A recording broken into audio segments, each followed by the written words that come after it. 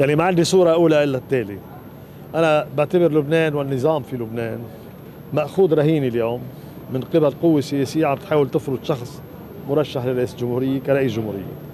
وبعتقد الفدية اللي بدنا ندفعها لنطلع الرهينة هي إنه نعمل رئيس جمهورية وفقا للإملاءات اللي عم تملى علينا. وهذا أمر طبعا نحن نرفضه.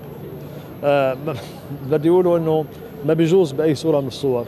ننقلب على الدستور. ما بيجوز بأي صورة من الصور. بدنا ناخذ لبنان ومؤسساته وحياه ومصلحة اللبنانيين. رهينة. تنأمن مصلحة لشخص أو لفئة سياسية معينة. في في هذا البلد في أحكام دستورية. في قانون بيرعي كيف بصير الانتخابات. هذا الانتخابات هالمجلس النيابي هو المكان الذي نحتكم إليه. وأنا بعتبر أي لجوء إلى أي موقع آخر أو إلى أو إلى تعطيل هذا المجلس هو ضرب للنظام الديمقراطي في لبنان. وهذا ما لا يمكن أن نقبله.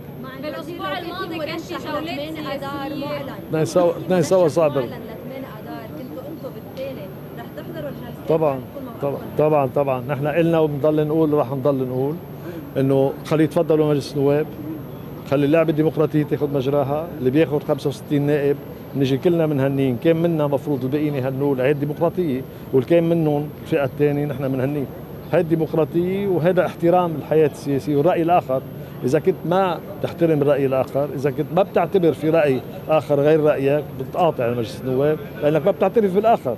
بدك تفرض على الآخر تبتز الآخر أو بعطل البلد بتعمل اياه أو ما في بلد يعني. هذا أمر ما بيسوى يستمر. صوت البترك عالي ونحن من أيد صوت البترك. نحن بنعتبر الضغط الشعبي يجب أن أن أن يزيد ولا يمكن القبول بما يجري لأنه هذا البلد مش ملك حدا. هذا ملك كل اللبنانيين وفي حياة سياسية بهذا البلد ترعى في دستور بيرعى الأصول بدنا نفعل فيها المؤسسات الدستورية ولا يجوز تغييب موقع رئيس الجمهورية لخدمة شخص أو فئة معينة من الناس. معاليك بالأسبوع الماضي كان هناك محادثات سياسية إن كان بين أطراف لبنانية أو مع أطراف خارجية، لماذا لم تفضي إلى أي نتيجة؟ بدك تسالي على الطلوع مع الوزير قرار انتخاب الرئيس وين؟